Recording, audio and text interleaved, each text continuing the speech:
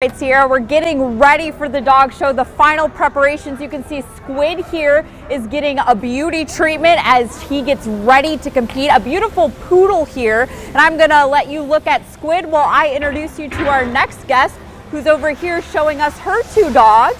Kim has, can you introduce us to Dante and Diesel? Is that yes, right? Diesel and this is Dante. So we're seeing a lot of dogs here today. A lot of fun. We saw the poodle, we saw Dante and Diesel. Tell me what it's like being a dog handler. It's a great career. It's a lot of fun. I enjoy it. I love the dogs. I love working with the people, doing the breeding programs and creating amazing dogs to show. And what do you think the best part about doing this is year after year? What keeps coming what keeps me coming back to it year after year is I just love the sport. I love the game. I love the competition. How many dogs are you um, showing this weekend? I'm showing like eight.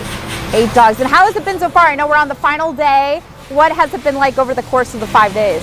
It's been a great show to come to. The venue's amazing. We've had some great wins, which makes it even nicer. And I'm looking forward to coming back next year to Indiana. And what are you looking forward to today? I know it's the final day. What do you, what are your biggest hopes? Who's competing today and what, what do you want to focus on? Hoping to make all my clients very happy and take home a lot of ribbons.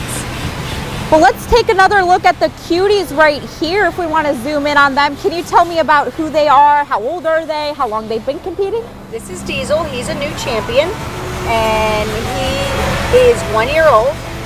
And Dante is three. He's in his prime and he just started his career in January and he's already an All-Breed Best in Show winner. Wow. So that's the highest win you can get all day. Oh, well, At the end of the day, one dog stands alone and that's Best in Show and Dante just got one. It'd be fun to get something like that here. We're going to try. Well, Dante, that's incredible. Yeah. Okay, we've got high expectations, high hopes here. Kim, thank you so much.